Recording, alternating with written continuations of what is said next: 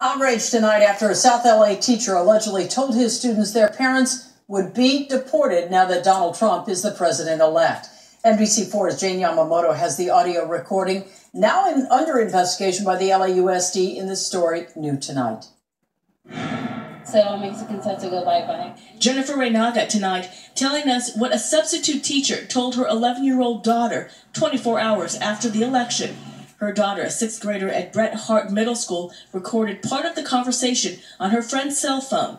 It's hard to hear, but this is the audio they shared with NBC4 and our partners at Telemundo. If you were born here, then your parents gotta go. And they're gonna you. Jennifer's daughter was nearly in tears when she shared it with her mom, who is outraged tonight, fearing Donald Trump's hardline on immigration would be part of the discussion at school. I would think the kids would do it, but I would have never thought a teacher would do it. She says the teacher's comments continued during the physical education class when her daughter asked the teacher, How does the president elect know where they live? I got your phone number, your address, your mama address, your daddy address. It's all in the system, sweetie. School officials say the substitute teacher has since been fired from the school district, but they will continue to investigate the incident.